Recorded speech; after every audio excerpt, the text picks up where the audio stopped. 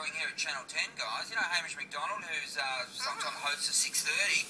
Very charming man, is he, Gary? Very charming? He is. Yeah, he's very charming. And some of the local newsreaders aren't happy about it. And uh, actually, Melbourne's Mal Walden took a stand today, yesterday. Tonight, Hamish, the other side of the Malaysian solution.